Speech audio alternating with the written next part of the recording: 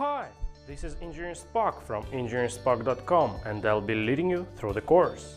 I've been working with the .NET platform since 2003. I've been professionally architecting and implementing software more than 10 years, primarily based on the .NET platform.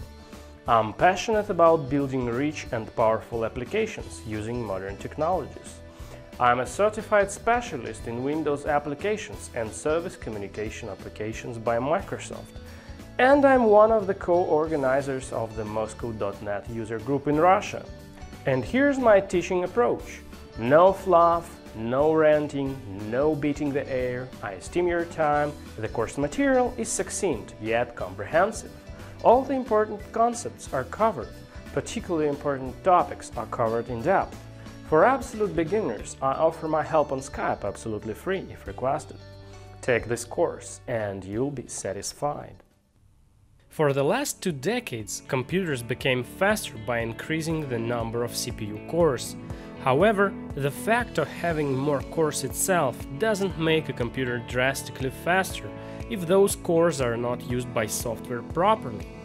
We, as software developers, should know how to write asynchronous and parallel executing code to make our applications faster and more responsive. This course is all about developing more responsive and fast programs. Multi-threading and parallel computing are topics for those who already have some experience in programming, otherwise you may face difficulties with understanding the content. Anyway, this course covers theoretical foundations of asynchronous programming, including main concepts, processes, threads, and so on, low-level thread API, APM and EAP patterns, task parallel library or TPL, including how to start tasks, how to cancel them, chain, waiting, IO-based tasks, exceptions handling, and other topics.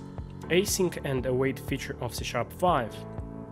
Synchronization, including atomicity, interlocked, monitor, reader-writer lock slim, semaphore, synchronization context, and deadlocks signaling constructs such as auto reset event and manual reset event slim, countdown event and barrier, mutex, spinning including spin wait, spin lock and our own updatable spin, concurrent collections including immutable stack, queue, list, sets, dictionary, concurrent stack, concurrent queue, concurrent bag, blocking collection, and parallel programming including parallel class and PLINQ.